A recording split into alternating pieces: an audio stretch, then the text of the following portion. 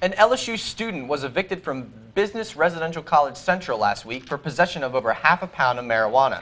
Graham Baggins, a pharmaceutical administration major, was evicted last Friday when a strong, skunky odor was detected in his room.